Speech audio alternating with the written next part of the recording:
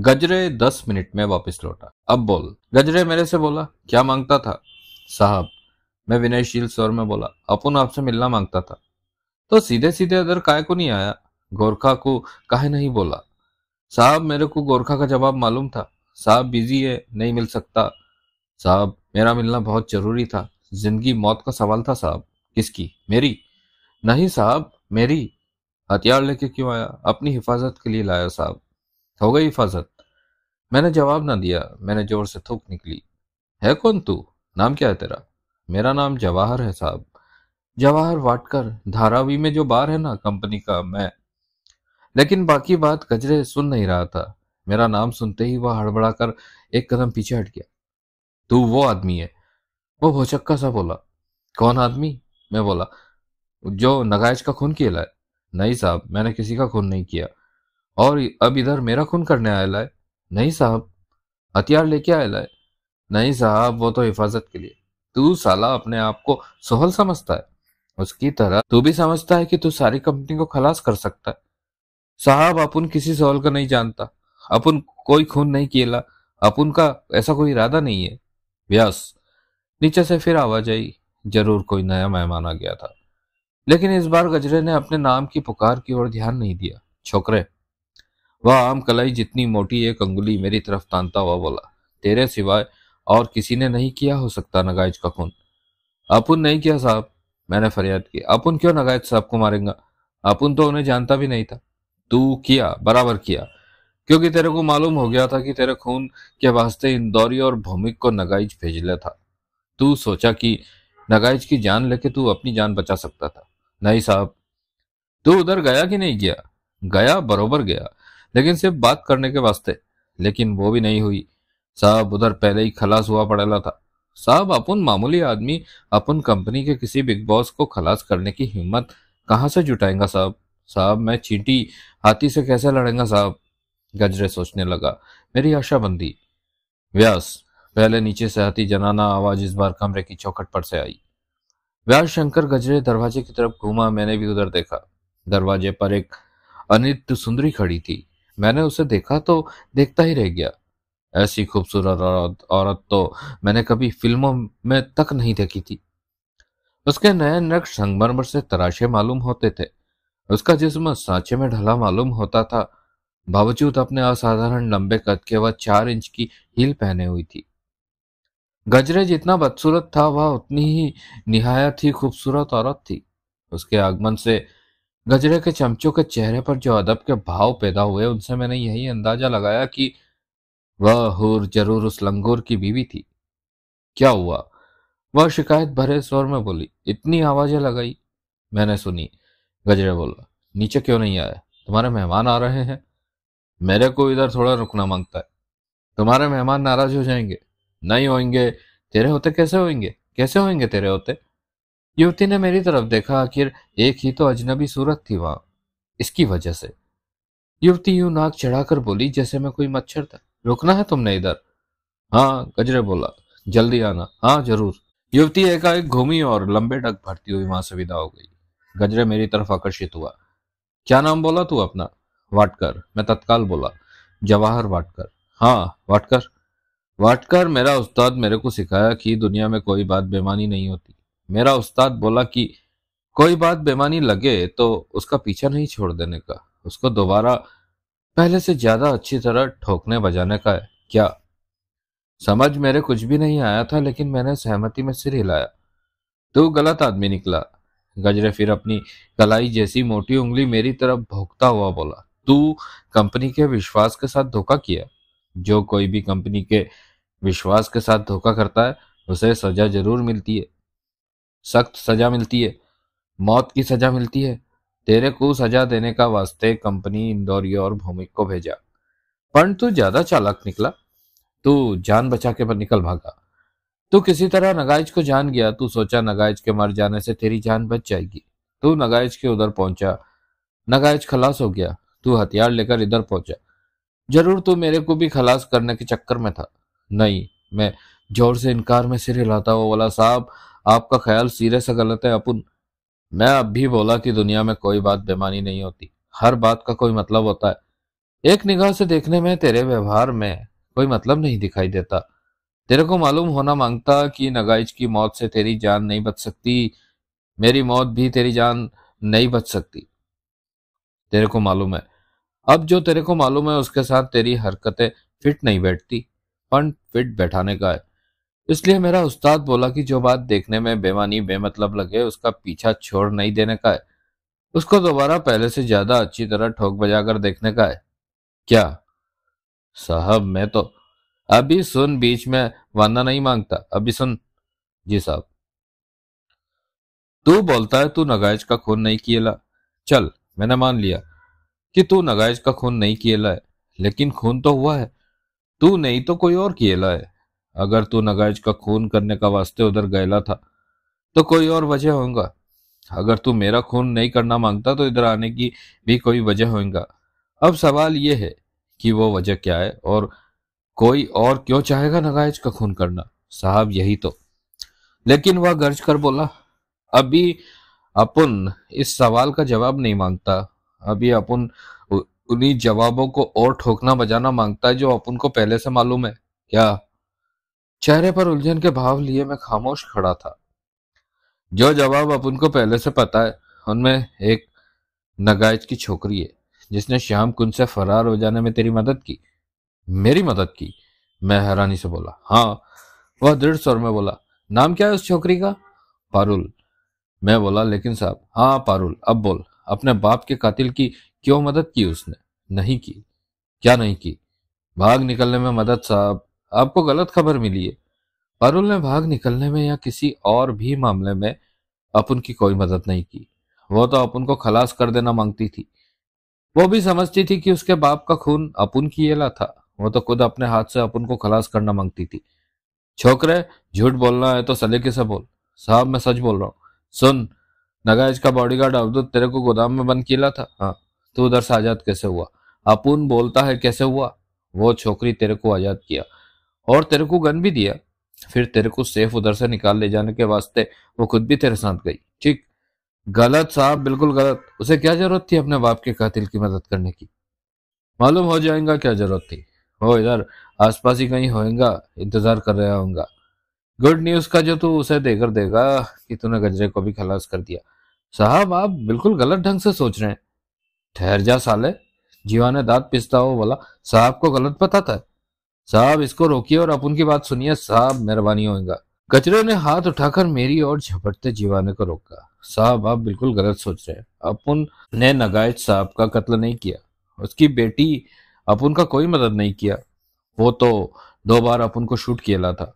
गुस्से में दोनों बार उसका निशाना न चुक गया होता तो अपुन उधर ही खल्लास था। वो तो। ठहर, गजरे ने एकाएक हाथ उठाकर मुझे टोका। मेरे को सोचने दे। मैं खामोश हो गया। यह मेरे लिए कम हैरानी की बात नहीं थी कि वो गेंडा सा आदमी सोच भी सकता था। कितनी ही देर कोई कुछ ना बोला, फिर गजरे ने ही खामोशी भंग की। मेरे को मालूम है कि नगाइज साहब अर्गिज नहीं चाहता था कि उसकी बेटी को मालूम हो कि वह कंपनी का अहदेदार था। वह अपनी बेटी को यही बोलता था कि वो एक बिजनेसमैन था, बिज़नेस करता था। अपनी की बेटी की निगाह में वो अपनी इमेज बनाकर रखना माँगता था। पण गजरे तीखे स्वर में बोला, बेटी को असलियत मालूम हो गया। ज़रूर कोई बाहर का आदमी उसे बहुत बड़ा चढ़ाकर बोला कि उसका बाप कोई भला आदमी नहीं, गैंगस्टर था, अंडरवर्ल्ड बॉस था, जिस उम्र में वो लड़की पहुँच गई है, उसमें बच्चा जरा ज़्यादा जल्दी जज्बाती हो जाते हैं, बहक जाते हैं। उसे हकीकत हजम ही नहीं हुई, उसे यह बात हजम नहीं हुई कि उसका बाप इतने साल तक उससे असलियत छुपाए रखा, उसे बाकायदा धोखा देता रहा, लड़की ने बाप का खून करके उसे तो उसके गुनाहों की सजा दी ही। साथ ही तुम्हारे साथ मिलकर उसने कंपनी को भी तबाह करने का फैसला कर लिया।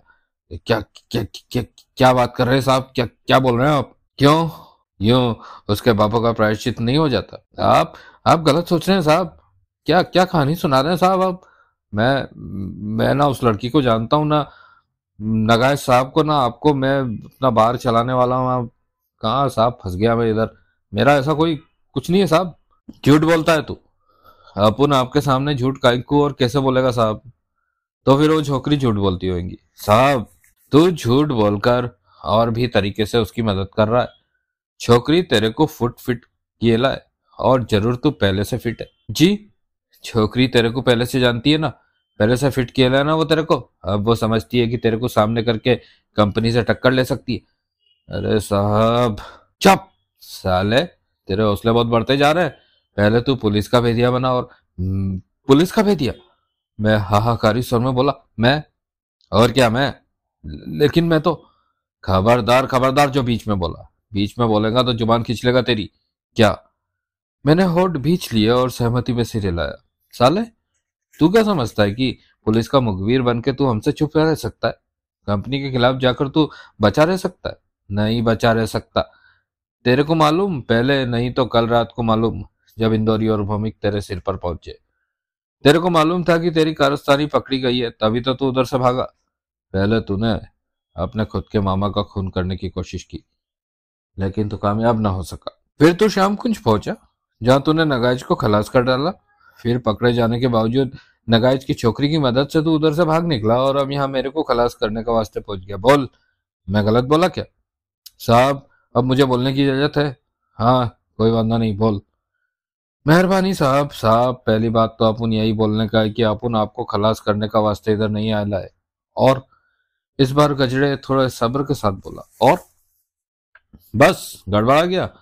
यह तो बहुत, पहले से बहुत तड़प रहा था। बहुत कुछ कहना था तेरे को। साहब, पहले मैं एक सवाल पूछ सकता हूँ। पूछ। क्या हो वे दोनों मवाली, इंदौरी और भौमिक इसलिए कल रात मेरे को खलास करने को भेजे गए थे? क्योंकि आप समझते हैं कि अपन पुलिस का भेदिया बन गया है और कंपनी को नुकसान पहुँचाने वाली खबर पुलिस को पहुँचा लाए बरोबर। पर अपन तो ऐसा कुछ नहीं किया लाए फिर झूठ बोला। साहब, आपको कौन बोला कि अपन पुलिस का भेदिया है? यह बात कैसे मालूम हुई आपको? तू शायद सोचता है कि किसी के चुगली करने पर कंपनी ने तेरे पीछे जल्लाद छोड़ दिए फिर भी साहब, कैसे मालूम हुआ? मैं चेक किया। हमारे स्मगलिंग का माल बार बार पुलिस की रेंज में आ रहा था। कई बार माल पकड़ा जा चुका था। उसमें से दो बार माल तेरे हाथों से गुजर कर गया था। दो बार हेरोइन का पार्सल तेरे को बार में सौंपा गया था और बाद में उसके बार से निकल चुकने के बाद माल का पीछू पुलिस लगेला था। बार तक माल पहुँचाने तक माल सेफ़ था। बार तक। माल वहाँ से आगे रवाना होते ही उसके पीछे पुलिस लग गया। इसका क्या मतलब हुआ साले? इसका मतलब यही हुआ ना कि हमारे बताए आदमी को माल सौंपने के साथ तू पुलिस को भी बोला कि माल अब आगे किन हाथों में जायला था। मैं सन्न रह गया। ऐसा कौन बोला? मैं बड़ी मुश्किल से कह पाया। कोई हमारा भरोसे का आदमी बोला, गजरे बोला। कौन? क्यों जानना माँगता है? ताकि तू दावा कर सके कि वो झूठ बोलेला है लेकिन साले, वो झूठ बोलने वाला आदमी नहीं। उसकी झूठ बोलने की कोई उसे ज़रूरत ही नहीं। गुनियानी हमारा आजमाया हुआ इन्फॉर्मर है। मैं खुद गोविंद गुनियानी से बात किया। मेरे बोलने पर गुनियानी ही पता लगाया कि पुलिस को हमारे माल की खबर देने वाला हमारा धारावी वाले बार का बारमैन था यानी कि तू था। गुनि, गुनियानी कौन है साहब? साले वो कोई एरा गहरा आदमी नहीं है पुलिस का आदमी है। गलत बात कोई भी कह सकता है। गुनियानी नहीं कह सकता वो हमारा बरसों का आजमाया हुआ आदमी है। हमने उसे बहुत ऊँचा रोकड़ा देकर खरीदा हुआ है। अपन को पहले का नहीं पता साहब। पर इस बार तो वो झूठी बोले लाए मैं एक क्षण टिटका और फिर विनयशील स्वर में बोला, साहब, अपन गरीब आदमी, भूखा मरेला था जब साहब लोगों की मेहरबानी से अपन को यह काम मिला। अपन को दो जून की रोटी का गारंटी हुआ। साहब, अपन भला अपनी रिजक के साथ दगा क्यों करेंगे? उधर अपन को जो लिफाफा या पैकेट या पार्सल सौंपा गया, अपन कभी उसकी तरफ़ झांका भी नहीं। कभी किसी से पूछा तक नहीं कि उसमें क्या था। सीधा ले जाकर सेफ़ में बंद किया और जब कोई कोडवर्ड वाला आदमी आया तो सीधे उसको सौंप दिया। साहब आप किसी से भी मालूम करो कि क्या हम कभी सवाल किया कि कौन उधर क्या छोड़ गया और क्या ले गया। फिर भला अपन पुलिस का भेदिया कैसे बन जाएगा? जो बात अपन को मालूम ही नहीं, वो अपन पुलिस को कैसे बताएँगा? अपन को रोकड़े का लालच नहीं। बाहर चलाने से अपन को जो पगार मिलेला है, अपन तो उससे फुल खुश है साहब। पहले होएगा साले। लेकिन नगाज की छोकरी से टाका भिड़ने के बाद नहीं रहा होगा साहब, आज से पहले तो मैं उस छोकरी को कभी देखा भी नहीं। मेरे को उसका नाम तक नहीं मालूम, मेरे को तो। मैं बोलता बोलता रुक गया, उसी क्षण। कंपाउंड में काले शीशों वाली काली एम्बेसडर कार दाखिल हुई थी। मेरे देखते ही देखते मेरे जल्लाद, इंदौरी और भौमिक उसमें से बाहर निकले और इमारत के प्रवेश द्वार की तरफ़ बढ़े। मेरी सांस सूखने लगी, उन्हें ज़रूर मेरे लिए ही वहाँ बुलाया था। गजरे ने जैसे मेरे मन के भाव पढ़ लिए। मैं ऊपर आने को बोलेगा। वो बोला, तभी वो लोग ऊपर आएँगा। तेरे को कुछ बोलना माँगता है तो बोल। अपन क्या बोलेंगे साहब? अपन तो बेगुनाह मारा जाएगा साहब। अपन पुलिस का भेदिया नहीं। अपन स्टेट आदमी है। अपन को पुलिस को बताने लायक कुछ मालूम ही नहीं। मालूम होता तो भी अपन हरगिज नहीं बताता। अपन को अपन का बस इतना मिस्टेक है साहब कि वो दोनों मवाली कल रात मेरे को खलास करने आया तो अपन उधर से भाग गया। साहब अपन की जगह कोई और भी होता तो क्या अपनी जान बचाने की कोई कोशिश ना करता? मेरा माफिक क्या वो मदद के लिए ऐसी जगह ना जाता जिधर से मदद मिलने का होता? तू किधर गया? अपन अपने मामा गजानन गोलवलकर के पास गया पंड साहब। वो अपन की कोई मदद नहीं किएला, इसलिए अपन को नगाज साहब के पीछे जाना पड़ा। तेरे को नगाज साहब की खबर कैसे लगी? एक तरफ़ तो तू बोलेला कि तेरे को कुछ भी नहीं मालूम, दूसरी तरफ़ तू सिर्फ़ नगाज साहब का नाम और अहदा जाने ला था, बल्कि उनका पता भी जाने ला था। ज़रूर ये सब तेरे को नगाइज का छोकरी बोला था, जिसके साथ तेरा पहले से टाका फिट था। नहीं साहब नगाइज का नाम अपन इंदौरी और भूमिक की जुबानी सुने रहा था, जबकि वो कल रात मेरे मामा से बातें किए ला था। पता? पता किससे जाना? अपन के एक फ्रेंड के माध्यम से जाना जो पहले कंपनी में ड्राइवर की नौकरी किया करता था। फ्रेंड का नाम बोल। मैंने एक फर्जी नाम बोल डाला। पता बोल। मैंने कमाठीपुरे का एक फर्जी पता बताया। फिर अपन, फिर क्या? अपन अपने गौरई रोड शाम कुंज पहुँचा। पर उधर कोई पहले से ही नगाज साहब को खलास कर दिया था साहब, उधर वे लोग भी मेरे को मर्डर समझा। वही अपन को गोदाम में बंद कर दिया। जिधर से कि छोकरी ने तेरे को छुड़ाया। नहीं साहब, वो तो मेरे को शूट करने का वास्ता उधर आयला था, क्योंकि वो भी सोचेला था कि अपन उसके डैडी का मर्डर किया है वो दो बार अपन पर गोली चलाएला पर निशाना नहीं लगेला। फिर अविश्वास और व्यंग मिश्रित स्वर में बोला, फिर अपन उधर से भाग निकलेला। अपनी प्रोटेक्शन के वास्ते अपन छोकरी का गन और छोकरी को भी काबू में केला अकेले मैं हिचकिचाया। वह हंसा साले, सच बोलने के वास्ते भी इतना सोचना पड़ता है। अपन के साथ अपन का वो फ्रेंड था जो अपन को नगाज साहब का पता बोला। वो उधर कैसे पहुँच गया? मेरी मदद करने के वास्ते पहुँच गया बहुत ही पक्का फ्रेंड हुआ तेरा। हाँ साहब। कोई बांधा नहीं, मैं उसकी भी खबर लेंगा। तू आगे बोल। अब वो छोकरी किधर है? वो तो भाग निकली। कैसे भाग निकली? मैंने बताया। ओ छोकरी भी भाग गई, तेरा फ्रेंड भी भाग गया। दोनों का इधर पेश करना नहीं माँगता, इसलिए बोल दिया कि दोनों भाग गया। बहुत चालाक है तू साले, बहुत ज़्यादा चालाक है। साहब, मैं एकदम सच। अब इधर कैसे आया था? वैसे ही साहब, जैसे अपन नागाज साहब के पास गया था। साहब अपन गरीब आदमी, अपन लाचार आदमी, अपन साहब लोगों से अपनी जान बख्शी करवाना माँगता। अपन बताना माँगता था कि अपन कुछ नहीं किया। साहब, अपन पुलिस का भेदिया नहीं। अपन नगाज साहब की छोकरी का फ्रेंड नहीं, अपन नगाज साहब को खलास नहीं किया इधर भी अपने फरियादी जानकर ही आपसे मिलने आया हूँ और आपके पास फरियाद लेकर आपके पास आयला। अपन किसी गोविंद गुनियानी को नहीं जानता। अपन पहले कभी ये नाम भी नहीं सुने लाए। अपन नहीं जानता कि वो मेरे बारे में जानबूझ के गलत बोला या उसे कोई गलत फहमी हुआ? पर जो कुछ भी वो बोला, वो सच नहीं, वो सच नहीं साहब। उसके चेहरे पर विश्वास के कोई भाव ना आए।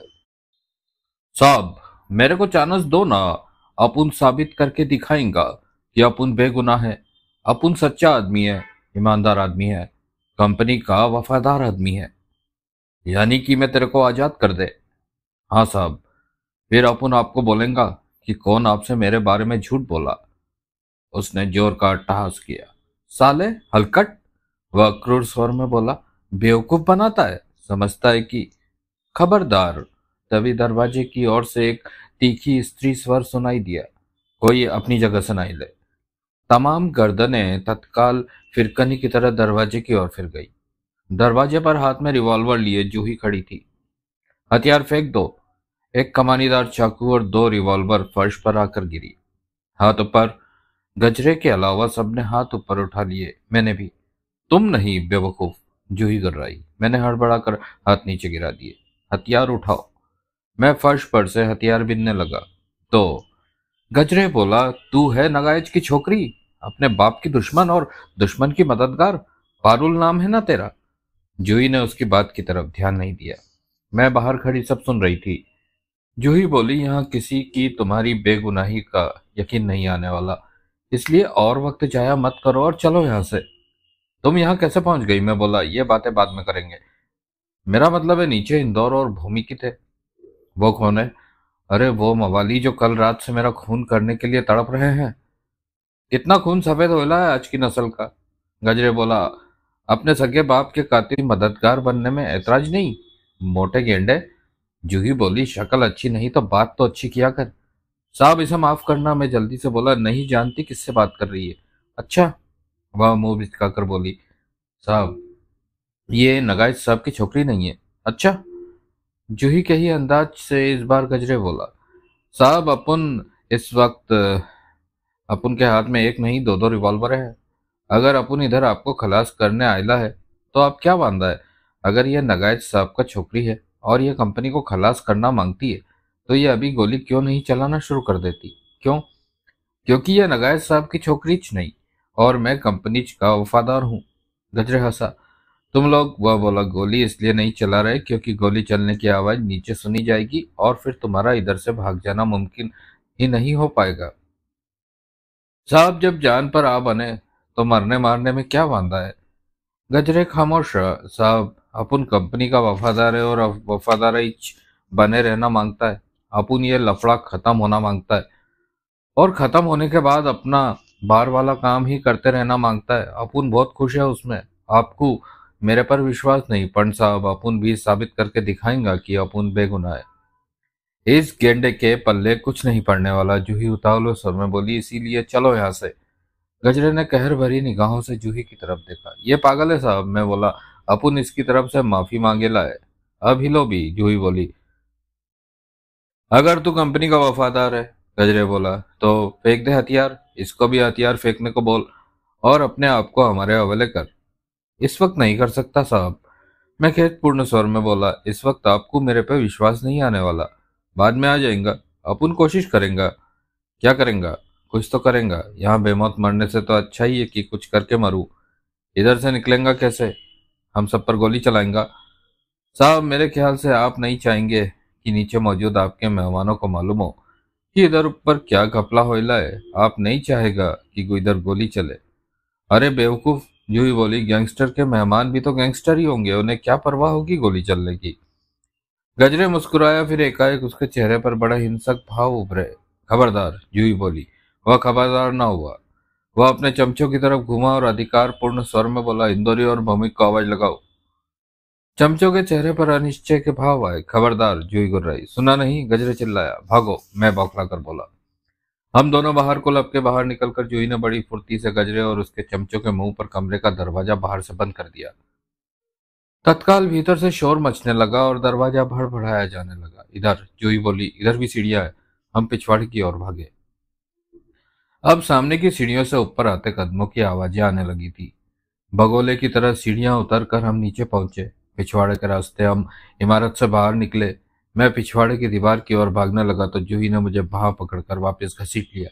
सामने, वह तीखे स्वर में बोली, सबको हमारे पीछे से भागने की उम्मीद होगी इसलिए। इमारत के पहलू से होते हुए हम सामने की ओर भागे और निर्विघ्न सामने कंपाउंड में पहुँच गए। वहाँ खड़ी कई कारों में से एक जीप भी खड़ी थी। जीप उसी वक्त वहाँ पहुँची मालूम होती थी क्योंकि भीतर मचे शोर शराबे से प्रभावित होकर। जब जीप का ड्राइवर कोठी के भीतर को लपका तो जीप की चाबी इग्निशन में ही छोड़ गया। जूही झपट कर जीप में सवार हो गई। उसने तत्काल इग्निशन ऑन किया और फिर जीप को गियर में डाला। जीप चलकर रफ्तार पकड़ने को आमादा थी, जबकि मैं उसमें सवार हुआ। जीप ड्राइवे पर दौड़ पड़ी। आगे फाटक बंद था। फाटक के आगे गोरखा खड़ा था और जीप को रुकने का इशारा कर रहा था। होशियार, जूही बोली, जीप ने अपनी रफ्तार और तेज ली। उसे रुकता ना पाकर गोलखा छलांग मारकर फाटक से परे हट गया। एक भीषण आवाज़ के साथ जीप फाटक से टकराई।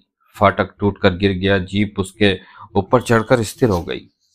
मेरे जिस्म को ज़ोर का झटका लगा। मुझे यह करिश्मा ही महसूस हुआ कि मैं जीप से बाहर उससे कई फुट परे ना जा गिरा। भागो, जूही जीप से बाहर छलांग लगाती हुई बोली, हम दोनों सड़क पर सरपट भागे। पीछे जीप टूटे फाटक के ऊपर चढ़ी यूँ खड़ी थी कि उसके वहाँ से हटे बिना, भीतर से कोई गाड़ी बाहर नहीं निकल सकती थी। मेरा मन प्रशंसा से झूम उठा।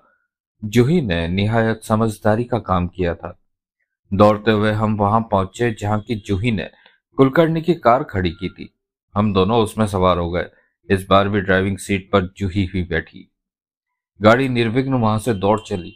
मैंने राहत की एक मील लंबी सांस ली और मन ही मन गणपति का शुक्रगुजार होने लगा। अब कोई खतरा नहीं जूही बोली। हम मालाबार हिल से उतरकर उससे बहुत दूर निकल आए थे। और अब जूही पहले जैसी दिल हिला देने वाली रफ्तार से कार नहीं चला रही थी। हिमालयन कार रैली में तो हिस्सा नहीं लिया तुमने कभी, मैं बोला, वाह सी। या कभी स्टंट ड्राइवर रही हो वो? दोनों ही नहीं। तो फिर यूँ हवाई जहाज़ की तरह कार उड़ाना कहाँ से सीखा? कहीं से भी नहीं, ज़िंदगी ने सिखाया। मतलब एक बार कोई ज़िंदगी से बेजार हो जाए, उसमें जान दे देने की ख्वाहिश पैदा हो जाए तो ऐसे मामलों में हौसले अपने आप बुलंद हो जाते हैं। तुम ज़िंदगी से बेजार हो। तुम्हारे में जान दे देने की ख्वाहिश है, उसने उत्तर ना दिया। अजीब लड़की हो तुम, जिसकी तुम सहेली हो उससे ना तुम्हारा मिजाज मिलता है, ना कोई आदत। मिलता है क्या? मिजाज, मैं भी उतनी ही हरामी से हूँ जितना कि तुम्हारा यार। मैंने हक बगाकर उसकी तरफ़ देखा। उसने सामने सड़क पर से निगाह ना हटाई। कुछ भी हो, कई क्षण बाद में बोला हौसला मंद ज़रूर हो। मेरे से तो बहुत ज़्यादा वह मुस्कुराई। तुम्हारे पास रिवॉल्वर कहाँ से आई? मैंने पूछा। गोमू दी थी। वह बोली, जो रिवॉल्वर कुलकर्णी के पास थी, वो उसने तुम्हें दे दी। हाँ कब? जब तुम हमें पीछे कार में छोड़कर अपने मामा से मिलने गए थे। कमाल है, रिवॉल्वर तो उसे अपने पास रखनी चाहिए थी। क्यों? भाई, उसने लड़की को संभालना था। तभी तो वह रिवॉल्वर अपने पास नहीं रख सकता था। मतलब तुम्हारा यार जब किसी खूबसूरत लड़की के करीब होता है तो उसके दोनों हाथ खाली होने ज़रूरी होते हैं, रिवॉल्वर अपने पास रखता। तो यूँ उसका एक हाथ बिज़ी ना हो जाता, फिर वो उसे ठीक से कैसे संभालता? तोबा यानी कि वो उस लड़की को भी शीशे में उतारने में लग गया था। फ़ौरन बिना कोई वक्त गवाए। तुम्हारे सामने ही मैं क्या उसकी बीवी हूँ? लेकिन छोड़ो, ट्यून बदलो। भीतर कैसे पहुँच गई? मैंने तो कहा था कि तुम आधा घंटा मेरा इंतज़ार करना और फिर यहाँ से चली जाना। मेरे से इंतज़ार ना हुआ। इंतज़ार ना हुआ या मेरी फ़िक्र लग गई थी। वाह, तुम्हारी फ़िक्र भला क्यों लगने लगी मुझे? तुम क्या कोई मेरे सगे वाले हो? मैंने आहत भाव से उसकी तरफ़ देखा। तो फिर भीतर क्यों आई? मैं बोला वो तो मुझे तुम पर रहम आ गया था। क्या कहना है? ऐसी बात थी तो साथ ही चलना था। रहम मुझे बाद में आया था। भीतर पहुँची कैसे? बहुत आसानी से। सुनोगे तो हंसोगे। सुनाओ। मेरे देखते ही देखते एक टैक्सी वहाँ पहुँची थी जिसमें एक मेरे जैसी ही जिनदारी लड़की बैठी थी। टैक्सी ने हॉर्न बजाया था तो गोरखे चौकीदार ने बिना किसी हुज्जत के फाटक खोल दिया था। बस फिर क्या था?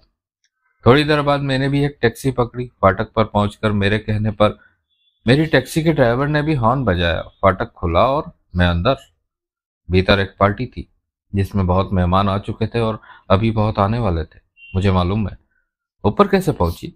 पार्टी की वजह से ही। नीचे इतना शोर शराबा था, जिसकी वजह से मैंने सोचा कि नीचे तो तुम क्या होगे। ठीक सोचा तुमने, मैं एक क्षण ठिटका और फिर बोला, तुम्हारी जानकारी के लिए मैं भीतर दाखिल होते ही पकड़ा गया था। फिर तो गनीमत समझो कि मेरे वहाँ पहुँचने तक तुम सही सलामत थे। वे लोग तो मुझे पकड़ते ही शूट कर देने वाले थे। तुम्हारी मेहरबानी से मेरी जान बच गई। उसकी सूरत पर उस कृतज्ञतापन की कोई प्रतिक्रिया प्रकट न हुई। हुआ क्या वहाँ? उसने पूछा। मैंने सब कुछ उसे कह सुनाया। तुम वाकई बेगुनाह हो?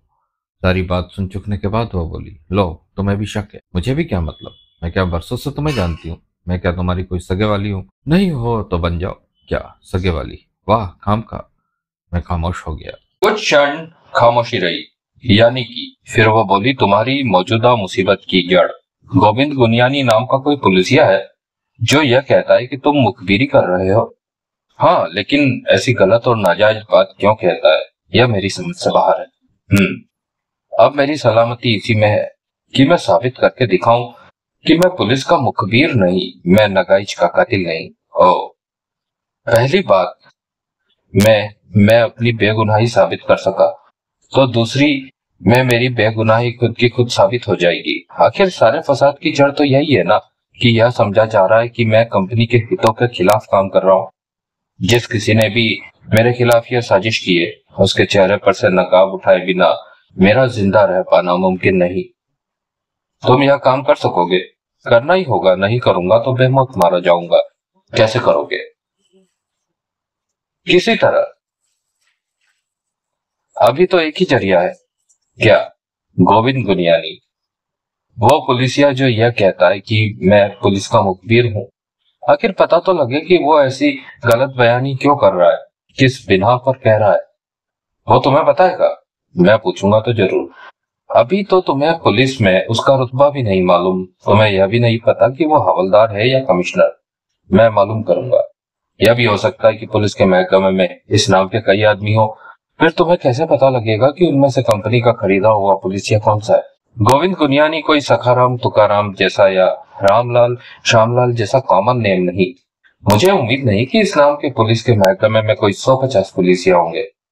एक भी होगा तो उसे कहाँ ढूंढोगे? धारावी में। मतलब देखो, मैं धारावी में, मेरा बार धारावी में। कंपनी के माल की जानकारी लीक हुई धारावी से, इसलिए आज से गोविंद गुंडियानी नाम के पुलिस की धारावी थाने में होने की सबसे अधिक संभावनाएँ है। तुम वापस धारावी जाओगे? हाँ उस पुलिसिया के पास अगर वो वहाँ हुआ तो। एक बात सोची तुमने, क्या कंपनी का वो मालाबार हिल वाला बिग बॉस, क्या नाम है उसका? गजरे। हाँ गजरे। वो समझता है कि मैं नगाइज की लड़की हूँ। वो समझता है तुम्हारी नगाइज की लड़की से पुरानी दोस्ती है और वो तुम्हारे साथ मिलकर कंपनी की ऐसी तैसी फिरने पर तुली हुई है। गजरे ने तुम्हें बताया है। गोविंद गुनियानी नाम के एक पुलिस ने कंपनी को यह खबर दी है कि तुम पुलिस के फेदिये बन चुके हो। अब क्या वे लोग तुम्हारे उस पुलिस तक पहुँचने की उम्मीद नहीं कर रहे होंगे? इसलिए ताकि तुम उसका कत्ल करके उसका मुँह हमेशा के लिए बंद कर सको, ताकि दावे के साथ यह कहने वाला कोई ना रहे कि तुम पुलिस इंफॉर्मर हो। बात तो तुम ठीक कह रही हो। देख लेना। कंपनी के वह जल्लाद तुम्हारे से पहले गुनियानी तक पहुँचे होंगे। शायद उन्हें यह बात ना सूझे। क्यों सूझेगी? इतनी बड़ी ऑर्गेनाइजेशन में सब अहमद की तो बढ़ती है। यार रिस्क मुझे लेना ही होगा। सोच लो। इसके सिवा और कोई चारा नहीं। तो फिर चले था भी हाँ ठीक है। उस वक्त कार कोलाबा का रुख किए हुए थी और लगभग मेरीन ड्राइव के कोलाबा की ओर वाले सिरे पर पहुँची हुई थी। जूही ने बड़ी दक्षता से कार वापस घुमाई। नगर की विभिन्न सड़कों से होती हुई कार धारावी की दिशा में दौड़ पड़ी। मुझे एक बात की हैरानी है, एकाएक जूही बोली, किस बात की? कि अभी भी तुम अपनी बार की नौकरी में ही जमे रहने के ख्वाहिशमंद हो। और क्या करूँ? और किसी काबिल जो नहीं मैं। अच्छा हज़ार कोशिशों के बाद तो यह काम मिला है। यह भी छूट गया तो करूँगा क्या? खाऊँगा क्या? प्रॉब्लम तो है यह मुंबई शहर में। मैं ज़िंदगी में ज़ीरो नंबर से पास हुआ शख्स हूँ। मेरी तरह। क्या? खूब गुजरेगी? जो मिल बैठेंगे दीवाने दो मतलब तुम भी फेल मैं भी फेल तुम कैसे फेल उसने उत्तर ना दिया कुछ क्षण खामोशी रही। तुम्हारी निगाह में, थोड़ी देर बाद वो फिर बोली, तुम्हारा ऐसा कोई दुश्मन नहीं, जो तुम्हें कंपनी की निगाहों में गिराना चाहता हो विलेन बनाकर पेश करना चाहता हो? नहीं, सोचो, मुझे तो नहीं सूझ रहा, लेकिन होगा तो ज़रूर कोई। कंपनी का माल पकड़वाने में, अगर पुलिस की मदद तुमने नहीं की तो किसी ने तो की। गजरे जैसा बिग बॉस ऐसी बात पर झूठ बोलने से तो रहा हाँ। वो तो है। ऐसे ही नगाज का कत्ल अगर तुमने नहीं किया तो किसी ने तो किया। अब तुम जरा दिमाग पर ज़ोर देकर सोचो कि ऐसा शख्स कौन हो सकता है। ज़रूरी थोड़े ये कि दोनों काम एक ही शख्स ने किए हो। यह भी तो हो सकता है कि मुखबिर कोई और हो और कातिल कोई और। हो सकता है। सोचो ऐसा कोई आदमी या ऐसा कोई आद, ऐसे कोई कोई आदमी? मुझे तो ऐसा कोई आदमी नहीं सोच रहा। तुम खुशकिस्मत साबित हुए तो गुनियानी से मुखबिर की खबर तो तुम्हें लग जाएगी, लेकिन कातिल की खबर तो उसे भी नहीं होगी। पहले गुनियानी तो मिले, पहले पता तो लगे कि वो है क्या चीज़ पुलिस के महकमे में। एक बात तो निश्चित है, क्या कोई सिपाही हवलदार तो ना हुआ वो? क्यों? कंपनी पुलिस का कचरा थोड़ी ना खरीदेगी, वो खरीदेगी तो चोखा माल खरीदेगी। यानी कि वो पुलिस का कोई आला अफसर होगा हाँ। फिर तो हो ली मेरी उस तक पहुँच। अभी से क्यों मायूस होते हो? मैंने तो महज एक ख्याल ज़ाहिर किया था। मेरा ख्याल गलत भी हो सकता है। लगता तो नहीं गलत, लेकिन चलो, पहले पता तो लगे कि असल में वो क्या है और कहाँ पाया जाता है। पीछे पुलिस की एक पेट्रोल कार आ रही है। तो मैं हड़बड़ा कर बोला उससे रोककर मालूम करे कि गोविंद गुनियानी उनके महकमे में क्या है और कहाँ पाया जाता है। तोबा यानी कि नहीं, मज़ाक मत करो। क्यों? तुम्हें मज़ाक पसंद नहीं? पसंद है, लेकिन जब वो मज़ाक हो, जले पर छिड़का हुआ नमक नहीं। वह हँसी, तुम हंसती बहुत हो कोई ऐतराज, वह सब पका कर बोली, नहीं, हरगिज नहीं। तो मुझे तुम्हारी हँसी बहुत अच्छी लगती है। हंसती हो तो तुम कहीं ज़्यादा खूबसूरत लगती हो। सच? हाँ मैं खुश हो जाऊँ? बेशक, फिर से हंस लो, बेशक। वह सचमुच फिर हँसी। मुझे अफसोस है, मैं बड़ी संजीदगी से बोला। तत्काल उसकी हँसी को ब्रेक लगी। मेरे दोबारा हंसने का, वह फिर सकपका कर बोली, पागल हुई हो? तो इस बात का कि तुम कुलकर्णी का माल हो तुम्हें उसने रसीद दिखाई, किस चीज़ की? माल की खरीद की? यानी कि? हाँ वह विनोद पूर्ण स्वर में बोली, यानी कि, अब तुम खुशी से गाना गाना शुरू कर सकते हो फ़िल्मों की तरह, कौन सा? कोई भी। मसलन, तुम मिले प्यार में, मुझे जीना गवारा हुआ लाइक हीरो मैं हीरो नहीं तो मैं ही कौन सी हीरोइन हूँ? हम दोनों हंसे, मुझे तो। फिर मैं बोला, इस घड़ी कोई और गाना सुझ रहा है, कौन सा? हमारे सिवा तुम्हारे और कितने दीवाने हैं? फ़िल्म की तरह जवाब में, मैं यह तो नहीं कह सकती कि कसम से किसी को मैं नहीं जानती। मुझे तो डायरी देखकर टोटल लगाना पड़ेगा। कोई वादा नहीं। छोटी सी डायरी में कितने नाम हो सकते हैं? छोटी सी डायरी? किसने कहा छोटी सी डायरी? तो मैं तो रजिस्टर रखती हूँ। एबीसी के हिसाब से इंडेक्स वाला लेजर तो नहीं? वही। फिर तो मैं मारा गया। मेरा नाम वाटकर है। वी से शुरू होने वाला नाम तो लेजर के आखिर में कहीं आते होंगे। तुम्हारा नाम जवाहर भी तो है तुम्हारी एंट्री में जे में कर दूँगी। तो भी मेरा नाम बहुत दूर होगा। वी से तो करीब होगा। ऐसा नहीं हो सकता, कैसा नहीं हो सकता? कि तुम अपनी उस लेजर पर घासलेट डालकर उसे माचिस टिका दो और एक नई लेजर शुरू कर लो, जिसमें एक ही एंट्री हो तुम्हारे नाम की। हाँ हो सकता है, ऐसा भी हो सकता है। तो कब करोगी? मैंने कहा है, ऐसा हो सकता है। होगा तो नहीं कहा मैंने। ओ तब तक कार तुलसी पाइप रोड के सिरे पर माहिम जंक्शन के करीब पहुँच चुकी थी। मैं धारावी इलाके से वाकिफ नहीं, वह बोली, रास्ता मैं बताता जाऊँगा। या यूँ करो, गाड़ी मुझे ही चलाने दो। यही ठीक रहेगा। उसने कार रोकी, हमने जगह की अदला बदली कर ली। मैंने कार आगे बढ़ाई। ट्रांजिट कैंप के इलाके में कार पर मैं अपने बार के सामने से गुजरा। जैसा कि अपेक्षित था, बार बंद था। उसके बुझे हुए नियोन साइन का टूटकर नीचे गिरा अक्षर आर। उस दौरान कोई उठाकर ले गया था। ऊपर की जिस खिड़की में से मैं कूदकर भागा था, वह तब भी खुली थी। भीतर की बत्तियाँ अलबत्ता नहीं जल रही थी। ज़रूर वहाँ से कूच करते वक्त इंदौरी और भौमिक उन्हें बुझा गए थे। उस जरायम पेशा इलाके के जरूरतमंद लोगों ने इमारत में तब तक झाड़ू फेर दिया हो सकता था। लेकिन भीतर जाकर ये सब देखने की या कम से कम इमारत का पिछला दरवाज़ा बंद कर आगे की मेरी हिम्मत ना हुई। जब से उस बार में मेरे मामा की मेहरबानियों से मुझे तैनात किया गया था, तब से वह पहला मौका था, जबकि बार बंद था और मैं वहाँ से गया हाजिर तब पहली बार मुझे एहसास हुआ कि बार किस कदर मेरी रोज़मर्रा की ज़िंदगी का हिस्सा बन चुका था। उस घड़ी मेरा जी चाह रहा था कि मैं अंजाम की परवाह किए बिना जाकर बार खोलूं और बार काउंटर के पीछे अपनी चिर परिचित जगह पहुँच जाऊँ बड़ी मुश्किल से अपनी उस ख्वाहिश को मैंने अपने जहन में से धकेला। अगले ब्लॉक में अपना डंडा घुमाता, गश्त करता हवलदार, पांडुरंग मुझे दिखाई दिया। मैंने कार रोकी, और आवाज़ लगाई, पांडुरंग!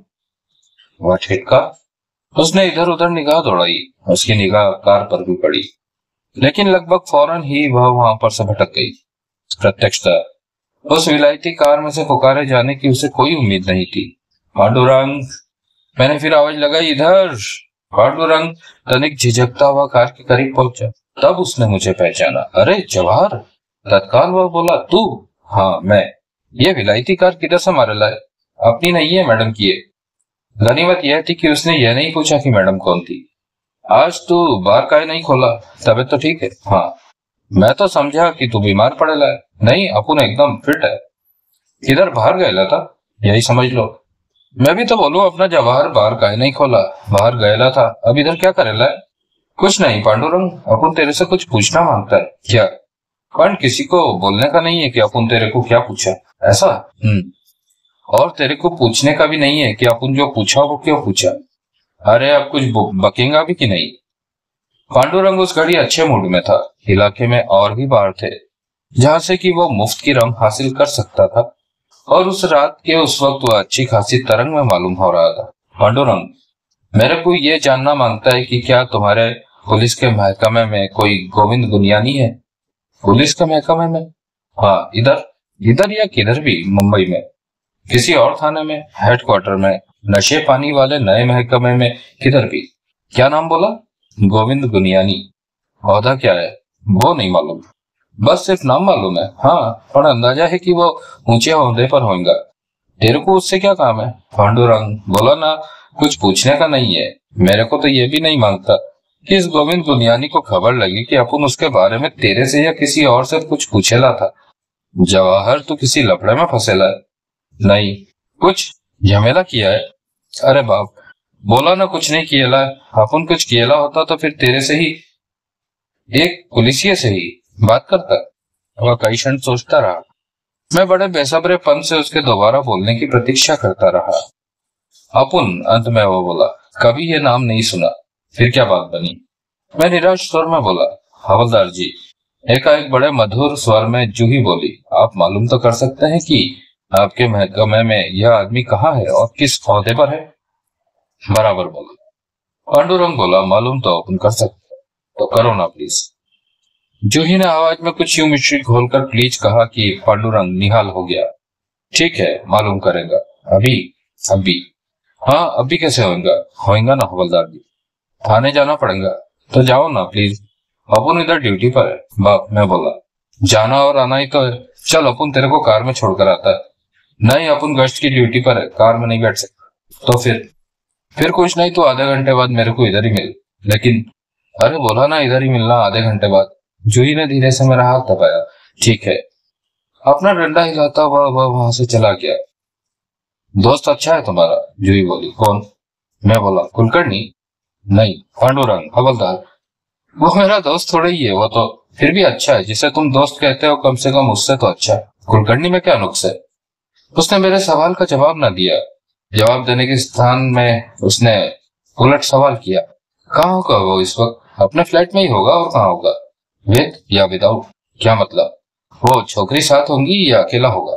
क्या पता? मुझे तो उम्मीद नहीं कि वो उसके काबू में आई होगी। अब तो मुझे यही बात हैरानी में डाल रही है कि उसे काबू में करने की नीयत से वह उसके पीछे भागा। उससे हमारा मतलब तो हल हो ही गया था। कंपनी के मवालियों से तो हमारा पीछा छूट ही गया था। ऊपर से इतनी मुसीबतें खड़ी कर रही थी हमारे लिए। कहीं भी चिल्लपो मचाने लगती थी। जाती थी तो पड़ी जाती रहती थी। यह बात तुम्हें अब सूझिए हाँ कुलकर्णी क्यों भागा उसके पीछे? क्योंकि वो कुलकर्णी है। मतलब वो खूबसूरत लड़की के पीछे ना भागे, ऐसा कहीं मुमकिन है। लेकिन यूँ, किसी के भी पीछे पड़ जाना, उसके लिए मामूली बात है। उसका बाद चले तो बम्बई की हर खूबसूरत नौजवान लड़की के साथ मुँह काला करे। कमाल है। तुम उसकी गर्लफ्रेंड और उसके बारे में ऐसी बातें करती हो, जो सच्ची बात हो, वो कहनी ही पड़ती है। फिर भी फिर भी यह कि मैं उसकी गर्ल हूँ फ्रेंड नहीं। क्या फ़र्क हुआ? बहुत फ़र्क हुआ। फ्रेंडशिप में निष्ठा, ईमानदारी, वफादारी और कई जज्बातों का इजहार करना पड़ता है। फ्रेंड को बराबर का दर्जा देना पड़ता है। गर्ल तो चीज़ होती है, माल होती है टकसाल होता है। ऐसा सामान जो तुम्हारे दोस्त के पास बहुतायत में है। ओ मैंने कहा नहीं था कि मैं उसकी पोस्ट पार्टी गर्ल हूँ डे आफ्टर गर्ल तुम्हें अपने इस रुतबे से, दर्जे से ऐतराज नहीं? कैसे होगा? किस बुते पर होगा? मैं ऐसा कोई ऐतराज करूँगी तो मेरे माँ बाप मेरी बच्ची सब भूखे नहीं मर जाएँगे। बच्ची? मैं चौंका, तुम्हारी बच्ची? हाँ पाँच साल की। पाँच साल की? मैंने एक कार की डोम लाइट चलाई और सिर से पाँव तक उसे निहारा। तुम खुद कितने साल की हो? बत्ती बंद करो। मैंने बत्ती बंद की और अपना सवाल दोहराया, तेईस साल की। और तुम्हारी पाँच साल की बच्ची है? हाँ कमाल है, तुम तो शादीशुदा भी नहीं लगती, हूँ भी नहीं। लेकिन बच्ची, पाँच साल की, औलाद पैदा करने के लिए शादी होना ज़रूरी थोड़ा ही होता है। मैं खामोश रहा। छक्के छूट गए ना? वह, व्यंगपूर्ण स्वर में बोली। वो वो क्या है कि मैं बताती हूँ वो क्या है। वो यह है कि अब एकाएक तुम्हारी यह ख्वाहिश नहीं रही कि अपने दीवानों की लेजर में मैं आग लगा दूँ और एक नई लेजर शुरू करूँ जिसमें सिर्फ़ एक ही एंट्री हो, तुम्हारे नाम की। ऐसी बात नहीं। ऐसी ही तो बात है, और गलती भी क्या है इसमें तुम्हारी? तुमने तो सपने में भी नहीं सोचा होगा कि कुमारी कन्या निकलना तो दूर, मैं पाँच साल की बच्ची की माँ निकलूँगी। बाप कौन है? कुलकर्णी? नहीं, कोई उससे ज़्यादा जलील आदमी। किस्सा क्या है? सुनना चाहते हो? हाँ। सुन पाओगे? हाँ। तो सुनो, चौदह साल की उम्र में किशोरावस्था की ड्योढ़ी पर कदम रखते ही मैं एक ऐसे आदमी की हवस का शिकार बन गई, जिससे अपने रिश्ते को अपनी ज़ुबान पर लाने के ख्याल से भी मेरी रूह पनाह मांगती है। क्या लगता था वो तुम्हारा? मत पूछो, जानकर बुज़ुर्गों की, बच्चों के लिए सरपरस्ती से तुम्हारा विश्वास उठ जाएगा। एक खास रिश्तेदारी से तुम्हें घिन आने लगेगी। तीन साल तक बलात्कार का वो सिलसिला चला, जिससे पीछा छुड़ाने के लिए सत्रह साल की उम्र में मैं मोहल्ले के अपने से तीन साल बड़े एक लड़के के साथ घर से भाग गई, जो कि मुझे बंबई लेकर आया। अठारह साल की उम्र में मैं माँ बन गई। शादी नहीं की, नहीं। क्यों? कहता था, मैं नाबालिग थी। शादी की उम्र में नहीं पहुँची थी। वो भी शादी की उम्र में नहीं पहुँचा था, इसलिए शादी नहीं हो सकती थी। बाद में बाद में पहले तो मैं प्रेगनेंसी के ही जंजाल में फंसी रही। फिर कहने लगा कि बच्ची जरा बड़ी हो जाए तो बच्ची को वक्ती तौर पर कहीं छुपाकर किसी और शहर में जाकर चुपचाप शादी कर लेंगे। की नहीं। उसने उससे ज़्यादा शानदार काम किया, या यूँ कहो कि करने की कोशिश की। क्या किया उसने? उसने मेरी बच्ची समेत मुझे फारस रोड पर बेचने की कोशिश की, तोबा। तुम्हारे तो सुन के ही तोबा हो रही है, मैंने तो यह नर्क झेला है। फिर क्या हुआ? किसी तरह मैं उसके नापाक इरादों को फेल करने में कामयाब हो गई और अपनी बच्ची के साथ उस चंगुल से निकल भागी। उसने यूँ पीछा छोड़ दिया, तुम्हारा, तुम्हें दोबारा तलाश करने की कोशिश नहीं की। ज़िंदा रहता तो ज़रूर करता, क्या हुआ उसे? मेरी और मेरी बच्ची की एवज में उसने रंडियों के एक दलाल से बहुत पैसा एडवांस लिया हुआ था, जो कि वो अयाशी में लुटा चुका हुआ था। मैं भाग गई तो वो सौदा फेल हो गया। एडवांस लिया पैसा, उससे लौटाया ना गया। नतीजतन दलाल के गुंडों ने उसका पेट फाड़ दिया। कमाटी पूरे के कूड़े के ढेर से उसकी लाश बरामद हुई। अखबार में खबर समेत उसकी लाश की फ़ोटो छपी देखी थी मैंने। अच्छा हुआ, क्या अच्छा हुआ? उसके मर जाने से मेरे साथ जो बुरा हुआ, वो भी अच्छे में तब्दील थोड़ा ही हो गया। औरत की ज़िंदगी कोई सलेट थोड़ी ही होती है, जिस पर जब चाहे जो लिख लो और जब चाहे जो मिटा लो। अब तुम्हारी बेटी कहाँ रहती है? कल्याण में मेरे माँ बाप के पास, मेरी माँ भी कल्याण में रहती है। तो कुछ नहीं, यूँ ही बोला, तुम्हारे माँ बाप पूछते नहीं, बेटी कहाँ से आई? नहीं। क्यों? क्योंकि वे जानते हैं, वो ये जानते हैं कि जो रकम उनकी और अपनी बच्ची की परवरिश के लिए उनकी बेटी उन्हें भेजती है, वो रकम वो किसी मंदिर में घंटियाँ बजा कर भी हासिल नहीं कर सकते। हर सवाल का कोई जवाब होता है, लेकिन कुछ जवाब ऐसे होते हैं जिनका कोई सवाल नहीं होता। कुलकर्णी से तुम्हारा क्या रिश्ता है? गलत सवाल पूछो, यह पूछो, क्यों रिश्ता है? क्यों रिश्ता है? क्योंकि वो मेरा अन्नदाता है। दस हज़ार रुपये महीना देता है वो मुझे। बदले में तुम्हें क्या करना पड़ता है? तुम्हारा मतलब है उसकी खुद की दिलजोई के अलावा। हाँ उसके स्टेज शो में अदनंगा और उसके रईस क्लाइंट्स की प्राइवेट पार्टीज़ में पूरा नंगा होकर नाचना पड़ता है। तोबा तोबा। मैंने अपनी बच्ची को पालना है। मैंने उसे किसी नजदीकी रिश्तेदार की जिनसी हवस से बचाना है, मैंने उसे किसी दगाबाज यार के बच्चे की माँ बनने से रोकना है। मैंने उसे फारस रोड पर बिकने से बचाना है, ऐसा क्यों कर होगा जिस माँ बाप की छत्र छाया में तुम्हारे साथ बद फैली हुई, वहाँ तुम्हारी औलाद की इसमत के महफूज रहने की क्या गारंटी है? कोई गारंटी नहीं, लेकिन फ़िलहाल मेरी मजबूरी है। मैं कुछ पैसा इकट्ठा कर रही हूँ।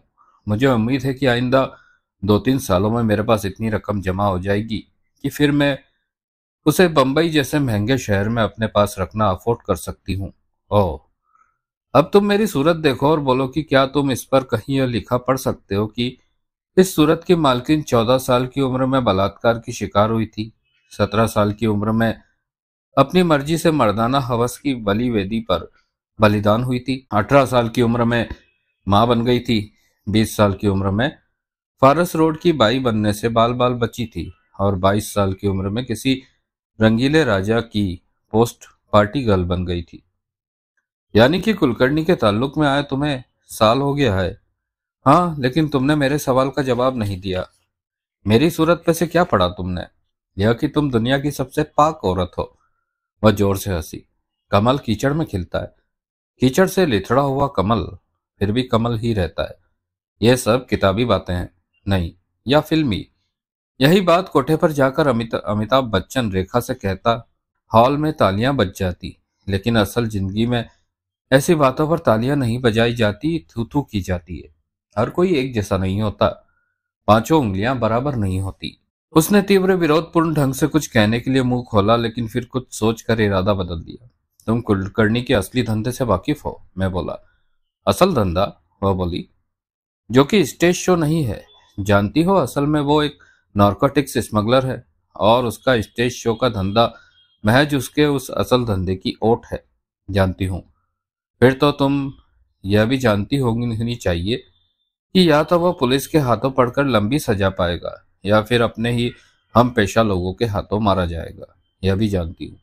तब तुम्हारा क्या होगा? कुछ भी नहीं। तब मैं किसी और कुलकर्णी की पोस्ट पार्टी या मिड पार्टी या बिफोर पार्टी गर्ल बन जाऊँगी, यानी कि तुम सुधरना नहीं चाहती। असल में तुम वह सवाल पूछ रहे हो, जो कि मैं और मेरी बच्ची नारी निकेतन में पलना चाहते हैं या नहीं। मैं खामोश रहा।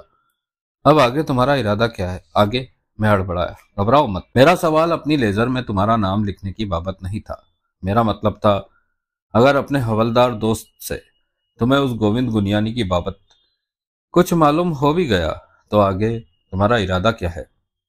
मैं उससे मिलने की कोशिश करूँगा। आज ही रात। तुम क्या कहना चाहती हो? मैं बहुत थक गई हूँ। नींद से मेरी आँखें बंद हुई जा रही है। क्या तुम्हारी भी ऐसी ही हालत नहीं है? है तो सही।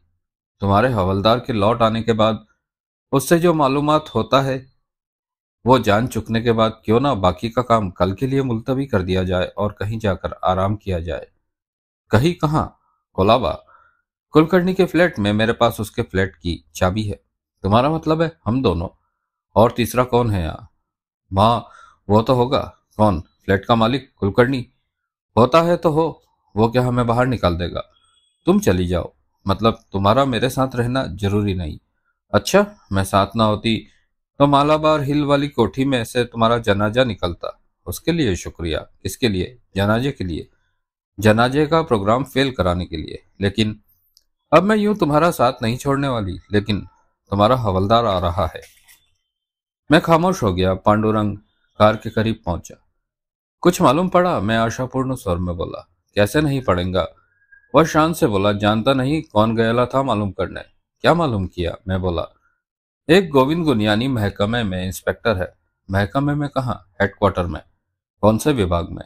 नशे पानी वाले विभाग में। उसमें तो मेरे ख्याल से पुलिस वाले नहीं होते। गुनियानी है डेपुटेशन पर। गोविंद गुनियानी, मैंने दोहराया हेडक्वार्टर में, नशे पानी वाले महकमे में डेपुटेशन पर। हाँ पण, मेरे को ये मालूम नहीं कि वो तुम्हारे वाला ही गुनियानी है या नहीं।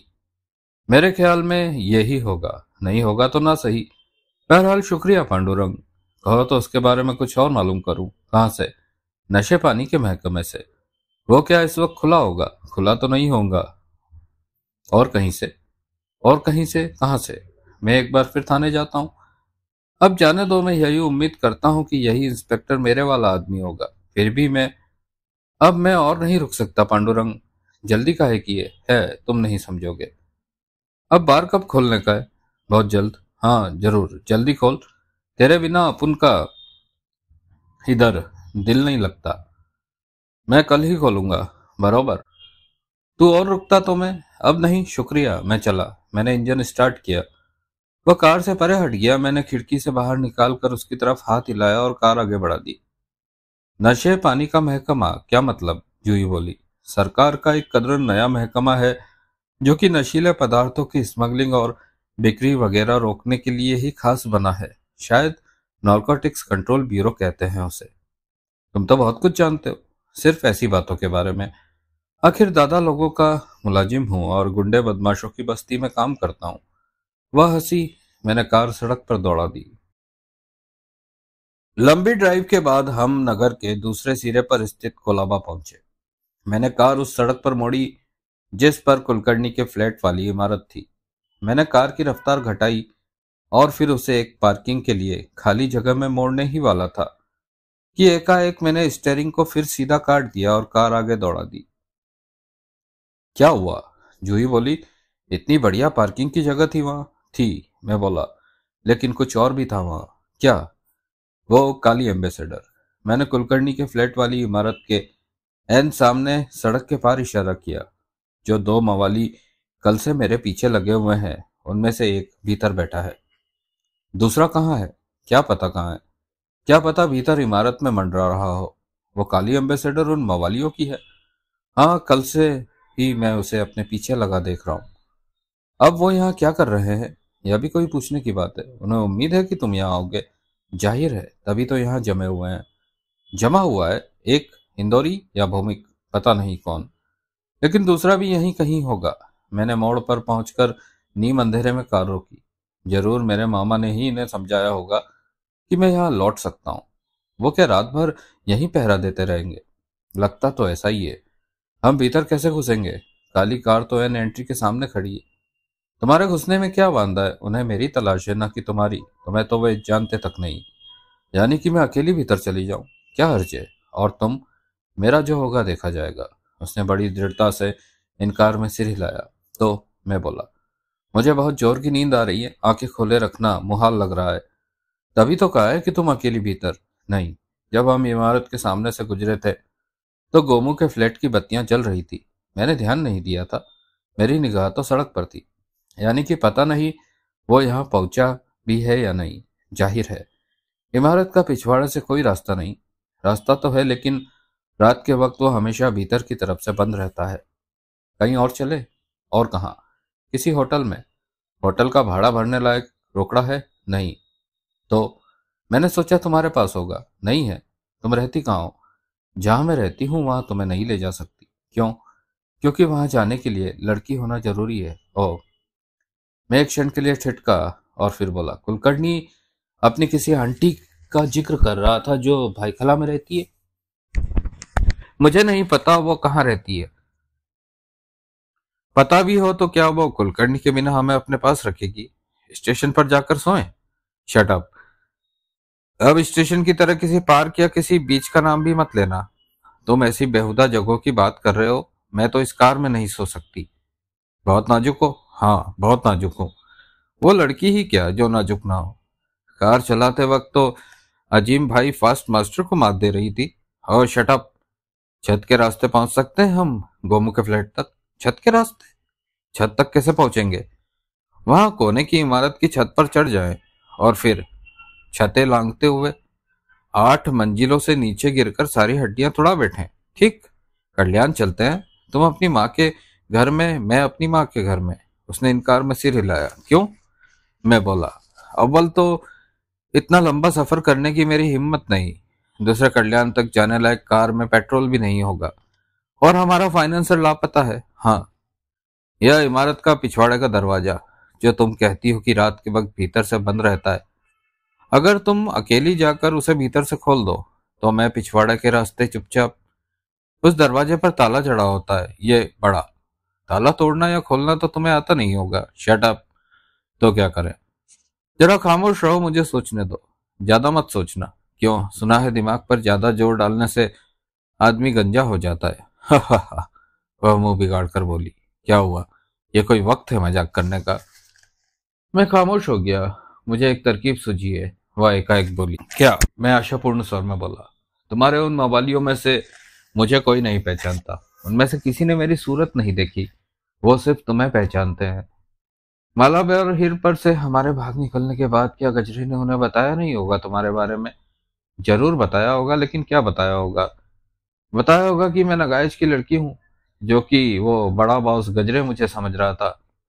और जिसे कि तुम्हारे पीछे लगे मवाली ज़रूर पहचानते होंगे। आखिर वे नगाइश के यहाँ गए थे। पहले से भी जाते रहे होंगे। तो तो यह कि मैं तो नगाइश की लड़की जैसी जरा भी नहीं दिखती। इस लिहाज से मेरे कुलकर्णी के फ्लैट के सामने देख लिए जाने में क्या वादा है? कोई वादा नहीं।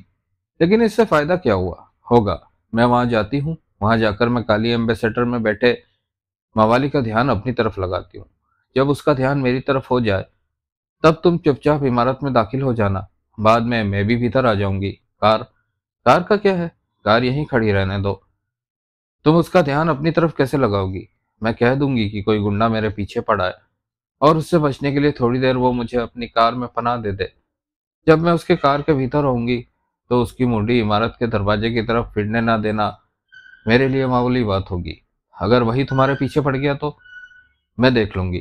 कैसे देख लूँगी? अरे कहा ना, मैं देख लूँगी। मुझे यह बात पसंद नहीं। क्या कहने यूँ कह रहे हो, जैसे तुम अमिताभ बच्चन हो और तुम्हें श्रीदेवी को अमजद खान के पास जाने देना पसंद नहीं, तुम बात को मज़ाक में ले रही हो।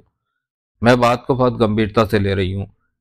इसलिए कि अगर मैं पाँच मिनट में बिस्तर के हवाले ना हुई तो यहीं बेहोश होकर गिर पड़ूँगी। दिखाई एक मवाली दे रहा है, लेकिन वो यहाँ दोनों हो सकते हैं। मैं दोनों को संभाल लूँगी। उसने जबरन मुझे एक चाबी थमाई ये चाबी पकड़ो। चाबी कुलकर्णी की, फ्लैट की।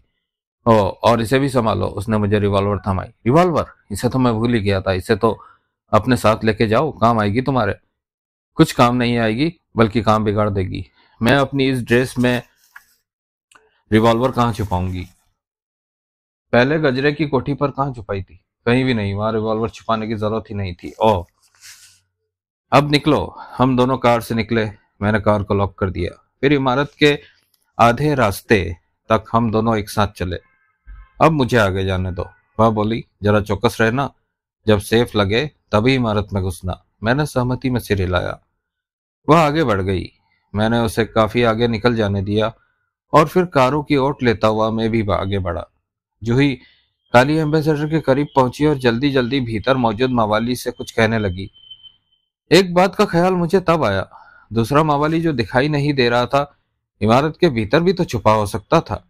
यह बात पहले जूही को भी नहीं सूझी थी। दूसरे, मवाली की इमारत के भीतर होने की सूरत में उसकी सारी मेहनत जाया जा सकती थी। इमारत में कदम रखते ही मैं पकड़ा जा सकता था, भगा ले जाया जा सकता था, गोली से उड़ा दिया जा सकता था। लेकिन अब पीछे हटने का या जूही को पीछे हटाने का वक्त निकल चुका था। इमारत में दाखिल तो मैंने होना ही था। मैंने जूही को काली एम्बेसडर में सवार होते देखा। उससे मुखातिब होने की कोशिश में मवाली की जो पता नहीं इंदौरी था या भौमिक था, इमारत की तरफ़ पीठ हो गई। मैं दबे पाँव आगे बढ़ा, मैं कुलकर्णी के फ्लैट वाली इमारत के करीब पहुँचा। उस घड़ी मवाली, इंदौरी या भौमिक, जूही को अपनी बाहों में भरने की कोशिश कर रहा था, और जूही उसे यूँ परे धकेल रही थी कि वह दो मन का आदमी होने की जगह खरगोश का बच्चा भी होता तो उस धक्के से अपनी जगह से ना सरक पाता। पसलियों में धार धार बजते दिल के साथ मैं इमारत में दाखिल हुआ। यह देखकर मेरी जान में जान आई कि भीतर कोई नहीं था। दूसरा मवाली, भौमिक या इंदौरी, वहाँ मेरे स्वागत के लिए मौजूद नहीं था। मैं निर्विघ्न सीढ़ियाँ चढ़ गया और दूसरी मंजिल पर कुलकर्णी के फ्लैट तक पहुँचा। भीतर पहुंचकर मैंने बत्ती जलाने की कोई कोशिश न की। अगर वो मवाली कुलकर्णी के फ्लैट की निगरानी कर रहे थे तो फ्लैट में रोशनी हुई पाकर जो कि खिड़कियों की वजह से सड़क से ही दिखाई दे सकती थी। वे तफ्तीश के लिए ऊपर पहुँच सकते थे कि फ्लैट में कौन पहुँच गया था, कैसे पहुँच गया था। सड़क की रोशनी खिड़कियों के रास्ते थोड़ी बहुत भीतर आ रही थी, जिसकी वजह से फ्लैट में मुकम्मल अंधेरा नहीं था। मैं फर्नीचर से उलझने से बचता हुआ ड्राइंग रूम की खिड़की के पास पहुँचा। खिड़की इमारत की मुख्य द्वार की सड़क की ओर खुलती थी। पर्दे की ओट से मैंने नीचे झांका। मेरे देखते देखते जूही काली एम्बेसडर से बाहर निकली। मवाली इंदौरिया मोमिक ने उसे पकड़कर कार के भीतर घसीटने की कोशिश की। लेकिन जूही उसकी पकड़ से छूट गई और लपक कर इमारत में दाखिल हो गई, यह देखकर मेरी जान में जान आई कि मवाली ने कार से निकलकर उसके पीछे आने की कतई कोशिश न की। थोड़ी देर बाद बहुत होले से कॉल बेल बजी। मैं खिड़की से हटकर दरवाजे पर पहुँचा। कौन? मैंने डरते डरते पूछा। जूही। मैंने तत्काल दरवाज़ा खोला। वह भीतर आ गई तो मैंने उसके पीछे मजबूती से दरवाज़ा बंद कर दिया। कैसी रही? वह हंसती हुई बोली, बहुत बढ़िया। मैं प्रशंसात्मक स्वर में बोला, तुमने अच्छा किया जो बत्ती नहीं जलाई। मैं खामोश रहा। बेडरूम में चलो, वहाँ फुट लाइट है। जो जलाई जा सकती है। वैसे भी बेडरूम की खिड़की का रुख मेन रोड की तरफ़ नहीं है। मैंने सहमति में सिर हिलाया। हम बेडरूम में पहुँचे। जूही ने वहाँ की खिड़की पर पहले अच्छी तरह से पर्दा फैलाया। और फिर फुटलाइट का स्विच ऑन किया। वह पलंग के करीब पहुँची, जहाँ ढेर हुई पड़ी बेशुमार चीज़ों को उसने उठा, उठाकर कमरे के एक कोने में फेंकना आरंभ कर दिया। क्या हुआ था नीचे? मैं उत्सुक भाव से बोला। वही जिसकी उम्मीद थी, वह बोली। मैंने उसे कहा कि एक मावाली मेरे पीछे पड़ा हुआ था। वो थोड़ी देर के लिए मुझे अपनी कार में पनाह दे दे। कार में तो उसने मुझे पनाह